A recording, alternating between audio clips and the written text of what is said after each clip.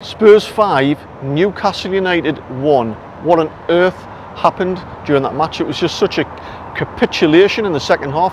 But what I did during the match, uh, I took some comprehensive notes so I could refer back to them during this video. So bear with us a second.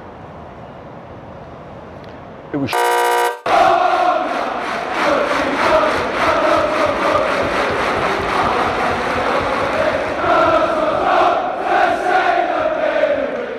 Welcome back to the channel, my name's Eddie and before we start getting into the football match yesterday I just want to mention I've just had a meeting here at St James's Park with Carly Sinclair from the club, the inclusion department and also Sophie from the Newcastle Foundation.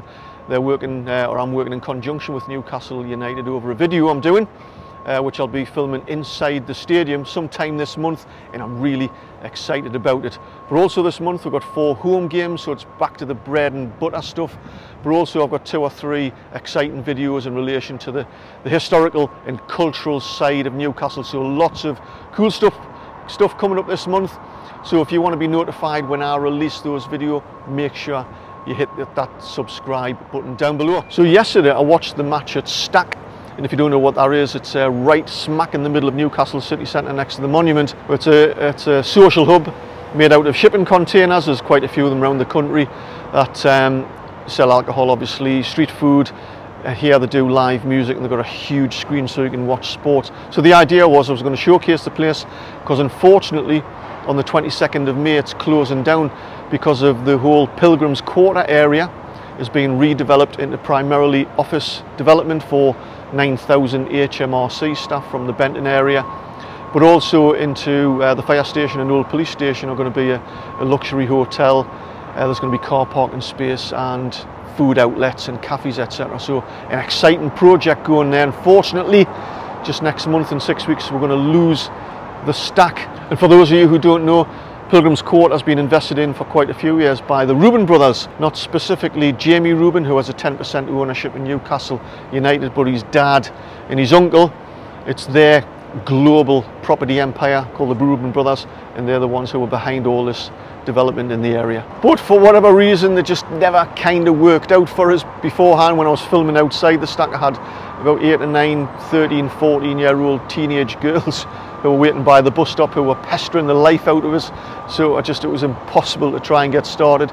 Inside it's not it wasn't predominantly a, a, Newcastle United crowd. It was a bit of a, a mix in there so it didn't quite work inside although I love stack especially on Saturday afternoons or Sunday afternoons having some afternoon beers but also because we got stuffed 5-1 and it just just popped the pin of the whole idea. So here I am I thought I'd uh, overcome what happened yesterday and film here at St James's Park. Actually, talking about uh, the Stack and Pilgrims Court, I'm actually going to be doing a separate video about everything that's going on there in a bit more detail about the development, but also as well Newcastle City Council have put proposals in to pedestrianise Blackett Street and New Bridge Street West or New Bridge West Street, whichever way around it is, um, to make it a cleaner and greener city centre so you can walk around in, hang around in. Hopefully you'll see uh, lots of pop-up cafes and it'll just, uh, that's the plans.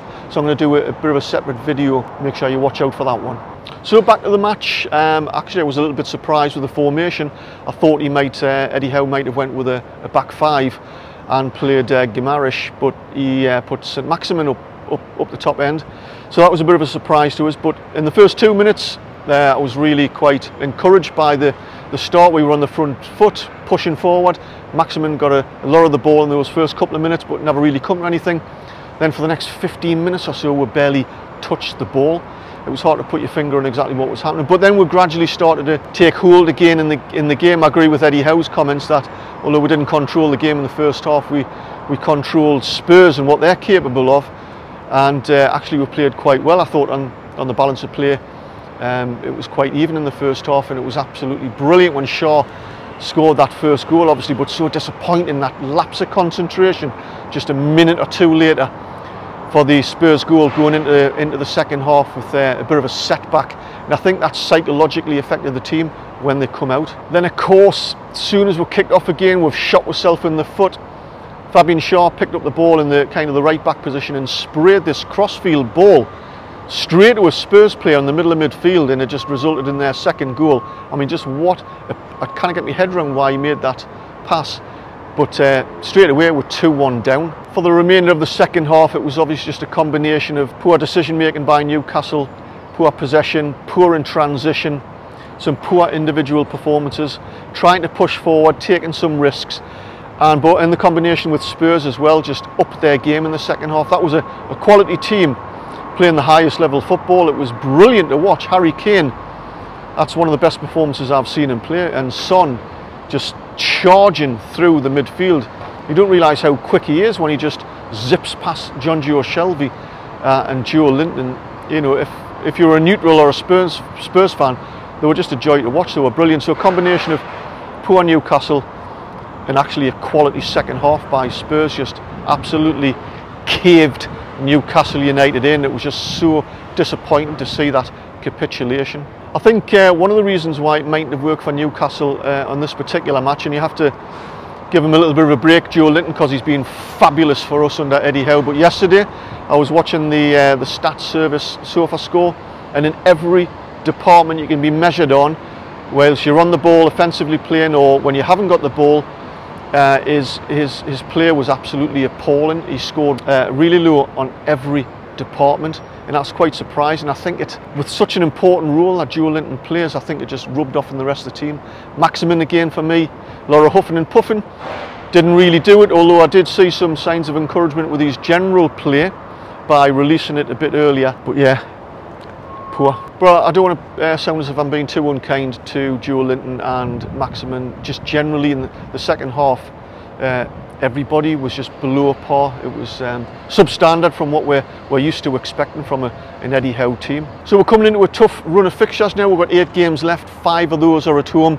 I can think you can almost guarantee we'll probably get beat four of those. So the kind of the message in this video is to not lose heart, not to overreact um, to the disappointment. I understand I've been to enough away games to understand how disappointing it is to travel all that way and to be comprehensively beaten like that. So, you know, me hats off to the fans who travel away. It's outstanding the support that you're given. But putting things into perspective, I know that's a bitterly disappointing performance and result, but I think we'll be all right. You know, it is what it is this season. We're far better than we were three or four months ago. We're probably going to escape relegation. We've got an exciting summer to look forward to where we're going to bring in four five, possibly even six players to strengthen the squad. And despite the tough running, I'm absolutely confident we'll, we'll pick up at least five or six points to get us over that line for Premiership survival. So my message is just don't lose heart, get behind the club, get behind the team. So there you have it, quick little video, let me know what you thought of the match and the performance down in the, uh, the comments below and uh, we'll look forward to the Wolves match on uh, Friday evening. I'll be there and come and hunt us out if you'd like uh, to be in the video. In the meantime, why don't you remind yourself of some good times and watch this video when we beat Brighton.